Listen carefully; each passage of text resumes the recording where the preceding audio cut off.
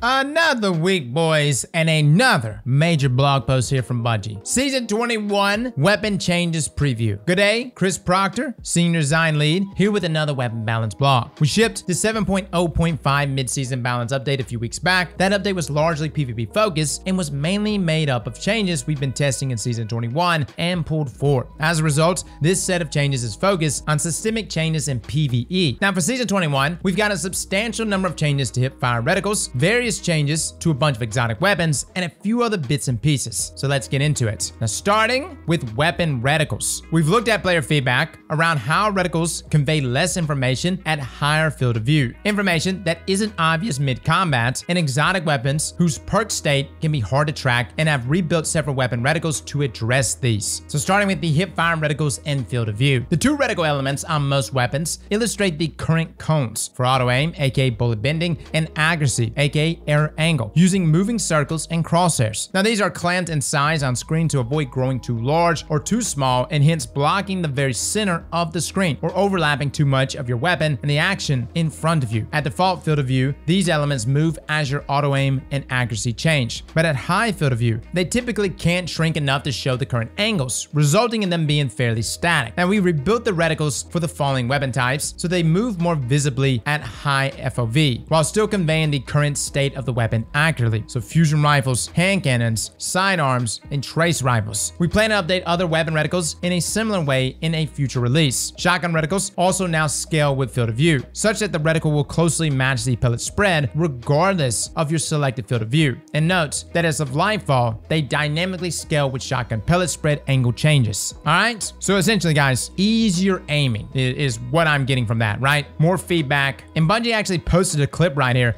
This is so amazing amazing. Look at Ace of Spades. You see Memento Mori proc there on the left, but looking down sight, you actually see the bullets themselves, those circles being filled in, indicating max stacks of Memento Mori when you use them with every single shot. This is beautiful stuff here. And again, this is on top of the changes they mentioned previously, where we can actually change the color of our reticles, right? Even when aiming down sights. The goal of this is just to give us more feedback, allowing us to have more tools here to be as accurate as we can possibly be, while also feeding us information about the weapon itself. Now, charge meters. Fusion rifle change and sword guard energy are a critical aspect of these weapons, which until now require relying on cues built into the weapon's visuals or audio. We've updated their hipfire reticles to include this information as well. So fusion rifles now have a charge meter under the reticle. Ah! And sword reticles now show the current sword guard energy. Excellent. Now, experimental aim down sights reticle. Our hipfire reticles are built with technology that lets them scale with weapon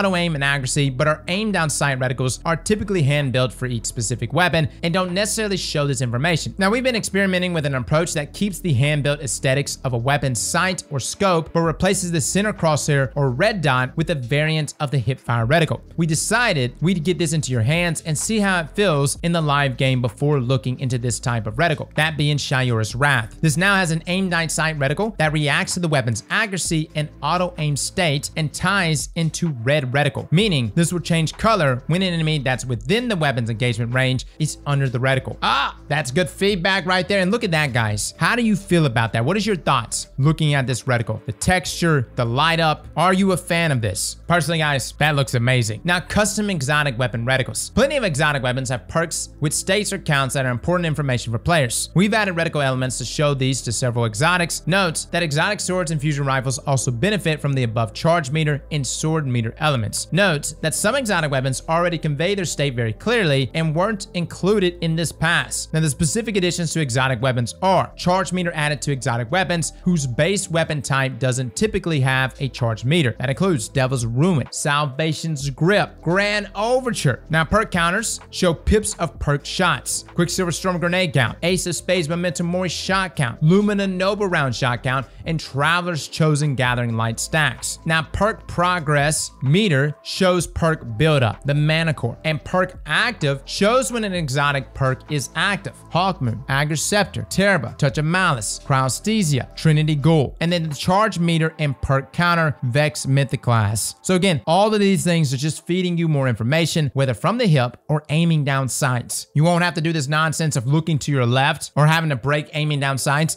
You literally get that information while in the gunfight, actively engaging. That's beautiful stuff. Now, in general, in inspection screen improvements. With the release of Season the Deep, we're also doing an overhaul to the way we showcase weapons and other items in the inspection screen with some highly requested improvements. You'll now be able to do the following when previewing weapons. Rotate them around the same way you would a sparrow or piece of armor, and added support for ambient VFX to play for weapons that have them. Oh, look at this! You can actually rotate and see the weapon from all angles. Dude, thumbnails are gonna be so much easier. I know this seems like a small change, but it is huge, especially if you wanna see what an ornament looks like at all angles, right? Now this applies to your inventory and also when inspecting ornaments in the Eververse store. Looky there. These tech improvements have had compounding benefits, enabling us to allow you to rotate ships and preview their contrails. We've also removed the depth of field blur from our weapon ship and armor preview screens to allow you to see all the angles of your gear better. Yes! We don't like blur, man. Just, just get rid of all of it. Now, full auto melee. Knowing how popular the full auto, now called full auto firing setting was, we've implemented a matching full auto melee setting that allows you to continue melee attacking with your fists, charge melee, your sword, your glaive, or even your roaming super melee by holding down the appropriate input. Yeah, they did go into more detail on this. It's a good thing, but keep in mind, I'm sure it's gonna have some bugs. Even the full auto firing mode has bugs. Sometimes you misfire, sometimes you don't fire. But overall, it is a great system, and I'm so glad they've added that. A full auto melee system is gonna be very nice of us that just wanna fist all of our enemies to death. Now, weapon archetypes. Bows, Tyranny of Heaven stats were always really low, and we're touching these weapons anyway, so we opted to update it and its stats while we were in there. Now, some submachine guns. Aggressive submachine guns have surged in PvP and they needed to be brought back into ban. We're doing that in a way that keeps them viable by reducing both base and crit damage a little, requiring a higher precision to reach their optimal time to kill. So reduce base damage from 15 to 14 and increase precision hit multiplier from 1.45 to 1.5, meaning the crit damage goes from 21.8 to 21. Now the Immortal is such a stat monster that no other aggressive SMG can compete. So we brought its range in while allowing it to continue to excel in other areas. So reduce base range value by 10. Interesting. I don't think that's really, I mean, don't get me wrong, the range was nice, but it's target lock, man. Like everything mentioned here is definitely hitting all aggressive submachine guns, but the conversation surrounding time to kill value doesn't really affect Immortal as much considering it has target lock, increasing its damage mid gunfight. We'll have to play around and see how that goes. Now, like 196 health Guardians, aggressives were able to achieve like a 0.64 time to kill value. Granted, on max resilience Guardians, you were roughly looking at a 0.72 TTK. With this change though, you're making it less forgiving. On top of that, you're not gonna be able to achieve that 0.64 TTK unlike those 6 to 7 resilience Guardians. It's gonna drop that down way lower, almost to the lowest bracket of resilience, and it's gonna be less forgiving. But again, like I just said a second ago, guys, we're still gonna be in a state where Immortal has target lock. Again, we'll test it next season, but it's because of that perk that is able to bypass and break those TTK values. Now, sniper rifles. Sniper rifles are a very safe option, and we don't want to also make them dominant, but there's some room to bring their damage up to improve their fill in PvE. Note that rapid fire sniper rifles also get a large reserve bump and reduce recoil in Season 21 mid-season balance patch. Yep, that's right, guys. We tested it. Cloud Strike especially is pumping out a lot more damage, especially total damage. It's very, very good. Now, we'll keep an eye on this and may bring them up a little more in the future if this doesn't move the needle. So we're increasing PV damage by 10%. Note, Izanagi's Burden Hone Edge perk will not receive this buff. All of the exotic snipers will receive the buff as written though. All right, so yeah, Izanagi's not gonna get it. That sucks. But Cloud Strike just got even better. Whisper just got better. Darcy, give up on it, fellas. Just stop. Everybody stop. We're gonna be doing some damage testing this week. Do not come into stream telling me Darcy is now meta. It's not. Give up already. But everything else, guys, Succession, if you got it, which is arguably the best in class legendary sniper rifle for PvE, is gonna be very deadly. This is gonna be a nice bump across the board. Now, Scout Rifles. Long Arm was inadvertently receiving the damage bonus versus minors for exotics, so we've addressed that. It still receives the Scout Rifle PV damage buff from Season 21 mid-season patch, but I guess it got its damage that it was receiving against minors removed. Dude, that is unfortunate. I had no idea. If that was the case, I would have been using Long Arm against minors more often. Now, exotic weapons. Oh, we're getting to the juice now, baby. Now, Eyes of Tomorrow's multi-targeted missile volley and adaptive ordnance exotic trait suggests it should be used to kill groups of enemies, but the rocket launcher ammo economy doesn't really allow for that. But what if smart use of the weapon against groups refunded ammo? Killing four targets with the missile volley will now refund one ammo. Oh! Oh, that is nuts. Guys, let me just say this by the way. Eyes of Tomorrow is about to become meta. You know how easy it is to kill four enemies with that rocket launcher? Stupid easy. Secondly, when you kill four or more combatants in a single volley, you're increasing the damage of the next volley. And that is a huge buff in damage. Again, the biggest thing holding this rocket launcher back for us was its ammo economy. But with this change, mother of God, can you imagine Solar Surge environments? Can you imagine Gambit? Now Graviton Lance. Graviton Lance's performance feels but it was easy to miss out on the full damage of a burst because so much of it was back-loaded. And we felt the tuning of Revision Zero's heavy round two round burst would be a good fit. So we're increasing the rounds per minute from 257 to now 300, but reduce the burst delay by 20%, which now matches Revision Zero's Hakke heavy rounds rate of fire. They also rebalance the damage per shot, increasing the first shot damage from 9.5 to now 19, that being per body, and 15.7 to 31.4 per crit. Ah, now they decreased the second shot damage from 35.6 per body to now 25.6, and crit damage from 58.7 to 42.3. So the back shot, the second shot, is still gonna do more damage, but not this substantial difference. Meaning, if you happen to miss that second shot, maybe the enemy jumps out of the way, I don't know, you're not losing out as much. Still a significant amount, but it's not like, you know, 70% of the damage or whatever that ratio is. I'm very excited about these changes. I know we make a lot of builds. I'm mainly collective obligation, but Graviton Lance is a force to be reckoned with inside of PvE. Now moving on, Jade Rabbit is a strong PvP scout rifle, but it was difficult to keep track of the state of the exotic perk. Yes, it was. And refunding a single ammo just wasn't impressive enough for an exotic. So these changes make the state clearer and provide more reward for precision. So we added buff text to show when Fate of All Fools and its increased body shot damage is active. Also, hitting three crits now refunds three shots instead of one. Ah, so meta. Keep in mind, that's not bad for chaining kills in PvP. Doesn't really change the game though inside of PvE. Now, flying around with Manticore is some silly fun, but we wanted to be more rewarding, mobile, and sustainable. With this change, you should be able to remain airborne for longer and be safer while doing so. So we're increasing the catalyst damage resistance from tier 3 to now tier 4. If I'm understanding that correctly, guys, I think that's a 25% damage resist. Someone correct me if I'm wrong. Also, increase movement speed during hang time and activating the catalyst perk through an airborne kill or sustained damage following an airborne kill now partially refunds the magazine. Guys, we'll try to make Manticore work. Again, suspending yourself in the air. I know Manticore is built for that, but it's a risky strategy, right? Especially in PvP. We'll see how it goes. We'll see how it shakes out. We'll combine it with things like wings. Maybe we can get the extra damage resist on top of that. Perhaps we could become like an air tank. I would love for it to be good. Really, really. Now, Lumina's cap on noble rounds was 5. While working on exotic weapon reticles, we opted to match Ace of Spades Memento Mori shot count to improve consistency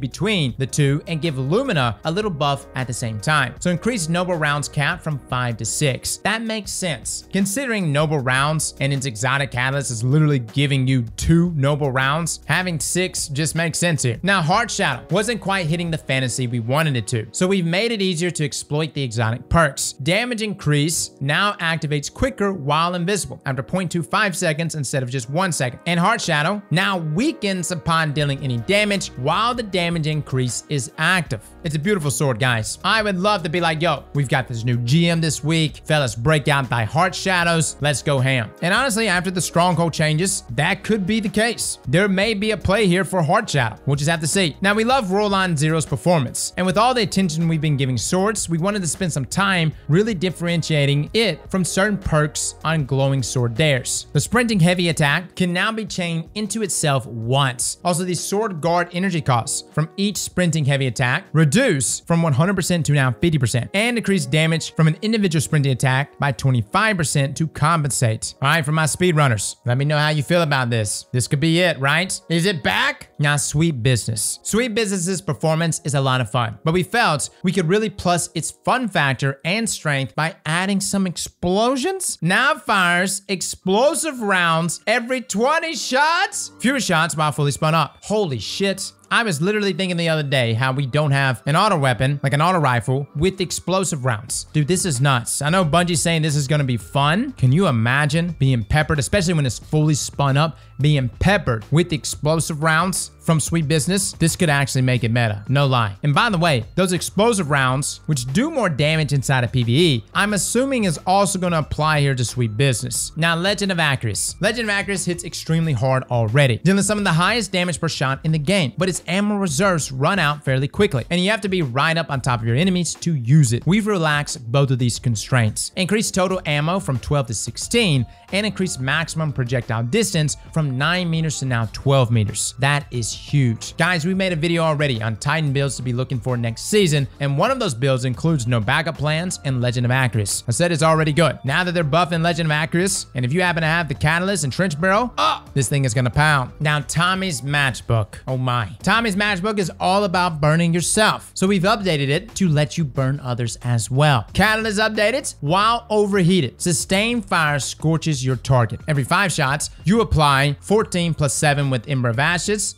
in Scorch stacks. Dude, that is nuts. Considering the max size here on Tommy's matchbook, you're going to be reaching ignitions so fast. Fellas, if you do not have Actium War Rig, I advise you get it. This is about to be deadly. Now, no time to explain. Drone wouldn't work against barrier champion shields when it had anti-barrier effect. We fixed that. And also made the drone work with Feeding Frenzy perk. Wow! So updated the drone to work with anti-barrier. It will break a barrier champion shields and over-penetrate combatant shields. Oh, could it go through a phalanx shield? Am I getting that that right? Also updated drone to work with Feeding Frenzy from the No Time to Explain Catalyst. This also resolved an issue where the feedback for Feeding Frenzy would always play when the player spawned and then never again. All right, nice quality of life change, although anti-barrier pulse rifle mod is going away next season, or I would assume so. Now, Skyburner's Oath Solar 3.0 pass turned out to be too conservative. I agree. So we brought it up to be more competitive with other scorching options increase scorch stacks from 3 to 5 and 5 to 10 with Ember of Ashes fragments. Huge! Dude, just in time for Incinerator Snap to get a buff. Dude, that combined with Skyburners, Colonel Mustang is back! Now, Salvation's grip. Salvation's grip's performance and utility is entertaining and situationally useful. But as a heavy weapon, it really needs to do some damage without compromising on its identity. So we rebuilt its functionality using bowling as an inspiration. Say what? Reworked to have two firing modes. Charge shot creates a pattern of stasis crystals, where the number of crystals is no longer dependent on charge time. An uncharged shot is a normal grenade launcher shot, which does more damage to stasis crystals and frozen targets. Also added a new perk that reloads the magazine from reserves when you quickly shatter at least three crystals with the uncharged shot. Interesting. Okay, there may be a play here, guys. Shatter damage is no joke. There's a reason why people run bump in DPS phases. Perhaps someone using Salvation's grip may be a play. Now, bad juju. Bad juju has always been hard to control, and it turns out it was originally set up to use auto rifle recoil. No way. Fix an issue that was causing this weapon to recoil like an auto rifle making it harder to control. The recoil pattern will now be similar to other pulse rifles. Massive. No lie, guys, bad juju with a little more consistency would be so good. I think this is going to be the play that makes it a powerhouse again inside of PvP. And it's in a good archetype. Really, really. Now, Fighting Lion's damage against red bars spiked to massive levels due to a recent bug. We've addressed this, but note that it still receives the 40% damage bonus for exotic primary weapons. So we fixed an issue that was causing this weapon to do more damage than intended to red bar combatants. It was fun while it lasted, guys. Now, Thunderlord. Thunderlord has surged in popularity with the release of its catalyst in the Season 21 machine gun buff, but it shipped with a bug that allowed lightning strikes at a higher frequency than intended against divinity bubbles so we've addressed that. Note that regular crits are not affected by this change. So fix an issue resulting in hits against divinity bubbles, counting as two crits instead of one. Wow. All right, for my Thunderlord bros, what this really means, you're gonna lose out on damage because of this, because a lot of us did use divinity with Thunderlord. And secondly, the auto-loading feature. So in my opinion, you're gonna need Actium War Rig. And secondly, Grand Overture is just better. And if you don't believe me, we did damage testing on machine guns, and Grand Overture is just just better. And now it's about to be a lot better. Now, Winterbite's initial version included an exploitable damage bug,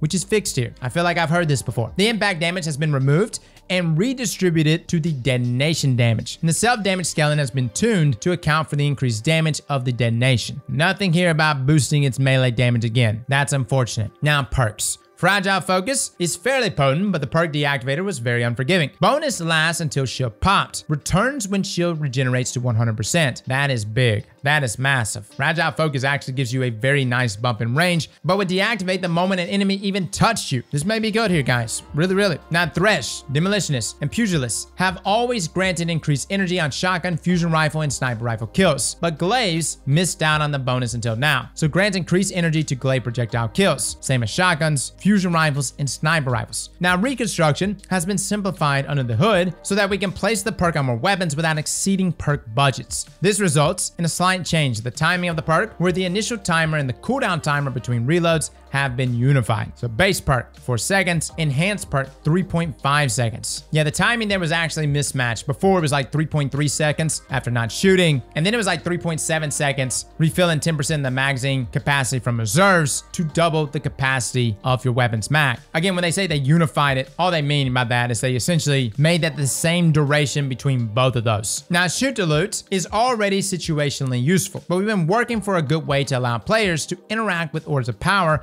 at a distance, and this was an obvious option. So updated to pick up Orbs of Power, and currently this only works on direct hits. The ability for the orbs to be picked up with weapon detonations will be added in a future patch. Good. Again, guys, we recommended shoot to loot and kinetic tremors on Hung Jury. The reason for that is pretty obvious. Proc kinetic tremors, activate detonations, that will pick up Orbs of Power, feeding into so many of your abilities, as well as armor charges, surge mods, all that good stuff. Again, though, that won't work at the beginning of the season, but it will be added eventually. Now, the future. We're in the process of redesigning how Zoom interacts with damage falloff. Weapons with that weapon type standard Zoom value, for example, for SMGs, this would be 14 Zoom stats or 1.4 time magnification, will be unaffected by this specific change. But weapons with lower than standard Zoom values for their archetype will have their damage falloff buffed. Oh, okay. And weapons with higher than standard Zoom values will have their damage falloff reduced. Note that this will only apply to damage falloff. Now, to avoid negatively impacting weapon feel, bonus to aim assist, accuracy, and recoil will still apply. We will also be making a pass on the base damage fall-off ranges for several weapon types to make sure that weapon types that previously relied on having above standard zoom to be competitive are not left behind. There's also a big sword update coming with the goal of making guarding substantially more valuable. In the more distant future, we're working on an update to Sparrows that will allow players to use their favorite instead of always on time without touching always on time itself. Yeah! Yes! Thank God. I want to be able to use other sparrows and still go just as fast as always on time. So what they're saying there is they're going to bump the speed over other sparrows. Now, the main takeaway from that right there, guys, is this zoom change is going to change so many things. The fact that they're actually going to be changing things like aim assist, accuracy, and recoil to mitigate negatively impacting weapons when adjusting zoom, that tells you how big of a scale this change actually is. In my opinion, that sounds even bigger than the AE changes from last year. So guys, let me know in the comments below what you think. Are you happy happy about everything you saw here? No lie, man. I am so excited to try Sweet Business. Eyes of Tomorrow is also looking super juiced. Ah, we'll be testing all of these, and we'll also have pre and post testing just to kind of give you an understanding of how much has changed from this season to next once these changes go live. Feel free to come by our Twitch, guys. We'll be live streaming all of our testing this week and next week as well. Well, fellas and ladies, thank you all for coming and watching, and as always, slap that like button like your mama told you right.